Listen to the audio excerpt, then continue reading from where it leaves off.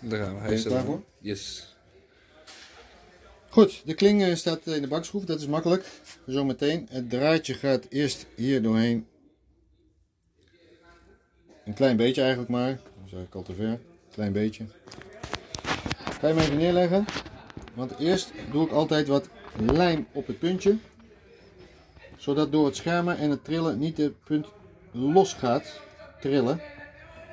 Dan blijft hij mooi een beetje vastzitten met wat flexibiliteit. Dan doe ik de huls erop draaien. En waar ik voor zorg natuurlijk is hier nog genoeg ruimte is.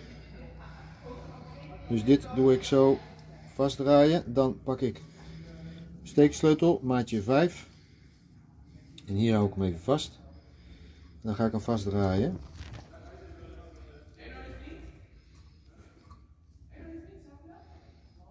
Vast genoeg. Hij zit nog los. Kan ik hem er helemaal doorheen trekken. Zorg dat hij er recht in zit.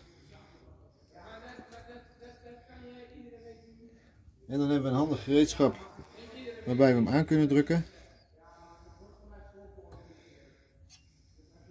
En als hij goed aangedrukt zit, dan is hij klaar. Dan gaan we naar de volgende stap. De volgende stap is eh, de spaghetti eventjes om het draadje heen doen. Begeleid hem netjes door het hulsje heen. Af en toe kan je hem een beetje strak trekken als hij een beetje krom is.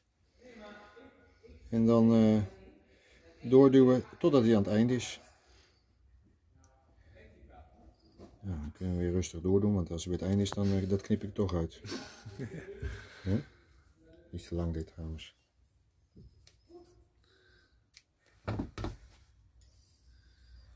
Ja, te lang zat.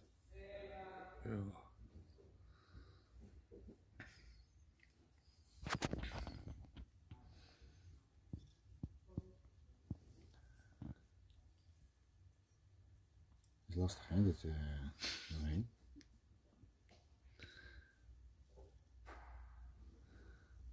Trek hem even terug een beetje. Nog even proberen.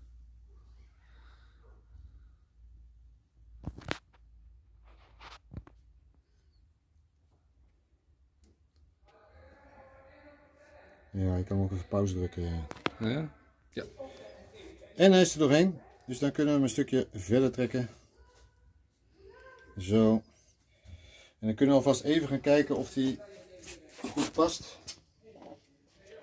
Tot hoe ver die gaat. Trek hem al een beetje er doorheen totdat hij redelijk op het einde zit. Want uiteindelijk moet dit ding natuurlijk, het hulsje moet in het gleufje hier zo eindigen. Dus ik kan hem een beetje strakker trekken. Dan laat ik hem even losgaan. Pak even een tapeje. Die doe ik hier omheen. Dat is ter bescherming van de draad. Zo. En dan gaan we met de lijn beginnen.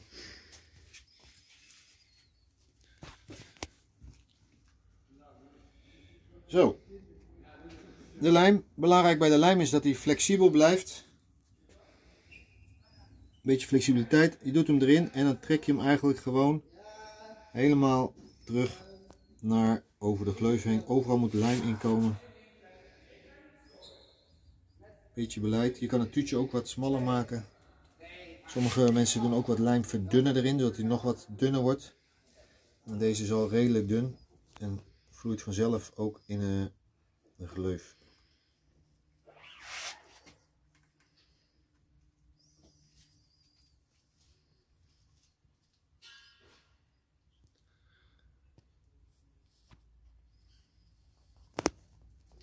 Zo.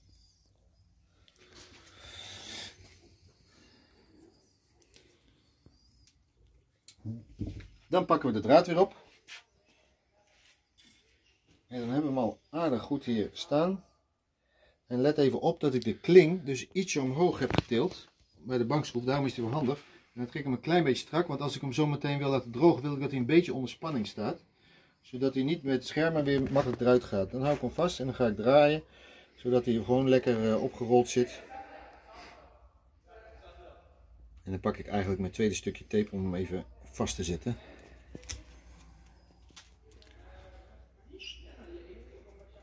Zo, die gaat niet meer los. Dan moet ik goed kijken, want de draad hangt er nu dus nog boven. Dat ik hem langzaam laat zakken en dat hij dan in het gleufje landt. Anders kan je een beetje begeleiden, maar omdat hij een beetje onder spanning staat en hij hangt een beetje, zit hij er al aardig goed in. En dan kan je hem eigenlijk eh, daarna losmaken en dan zetten wij hem in een standaard. Maar die standaard moet je natuurlijk hebben, maar je kan natuurlijk ook gewoon onder het bureau kan je natuurlijk zo hier krom zetten dat hij hier zo krom hangt zo. Dat hij mooi te droog staat. Maar wij hebben een mooi apparaatje. Dat, dat hoeft niet meer, dan kan je. Maar het hulsje moet in het vleugje hier zo eindigen. Dus ik kan hem een beetje strakker trekken. Dan laat ik hem even losgaan. Pak even een tapeje.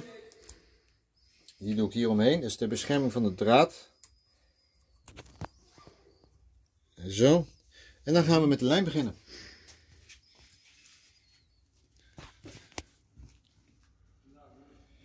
Zo. De lijm. Belangrijk bij de lijm is dat hij flexibel blijft.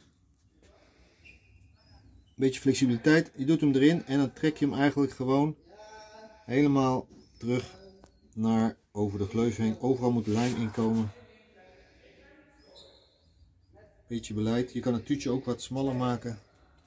Sommige mensen doen ook wat lijm verdunnen erin, zodat hij nog wat dunner wordt.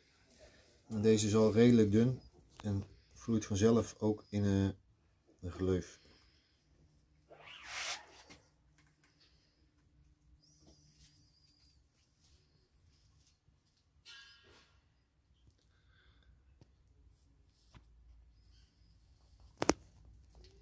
Zo.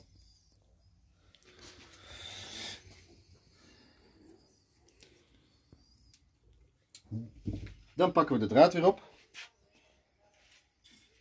En dan hebben we hem al aardig goed hier staan.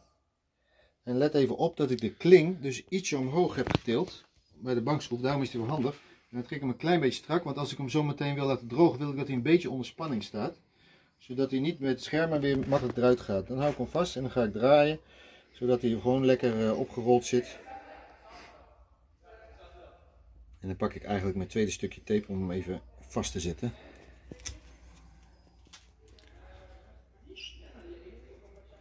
Zo, die gaat niet meer los.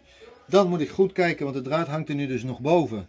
Dat ik hem langzaam laat zakken en dat hij dan in het gleufje landt.